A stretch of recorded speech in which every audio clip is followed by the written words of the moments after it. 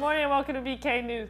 Today is April 17th. It is a B day in the building. I'm Emmeline Grennan, I'm Kelvin. and here's today's news.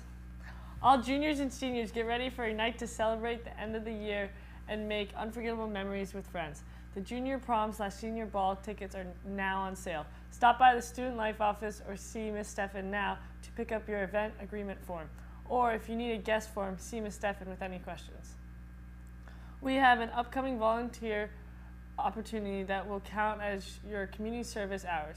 BK's Cars and Parades is April 28th at Artis Artis Work. Artisan work. Artisan Work. Need clothes? Do 50 students volunteers to help at this fun event? Sign up online to volunteer at the mobile service now. Stops will go fast. See Miss Stefan with any questions. Friday, April 28th, the student leadership team for House Byron is organizing a food truck rodeo right here at BK, right now.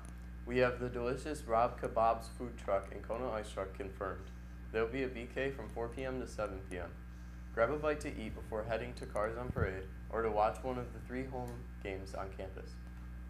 Or just come so you don't have to cook. More trucks will be added soon. Bishop Kearney class of 2019 alumna Brandy Owens is hosting a motivational youth event on Saturday, April 29th from 6 to 9 p.m. at the Center for Youth. Want to learn more? Here is Brandy to explain a little more about what this event is about. Hey everyone, I'm Brandy Owens, Bishop Kearney graduate class of 2019. I am now a senior at Alfred University pursuing my bachelor's degree. In honor of my minor in social justice, I will be holding an event called the Inspirational Inclusion Slam. This event will take place April 29th from 6 p.m. to 9 p.m. This event will have vulnerable activities, um, affirmations, guest speakers, poets, singers, music, and much more. This event is open to youth members of the community in Rochester, but of course, all ages are welcome. I hope to see you all there. Come out and have a great time and enjoy. Alvin, are you playing a spring sport? No. Are you excited for graduation? Yes. And now we turn into sports.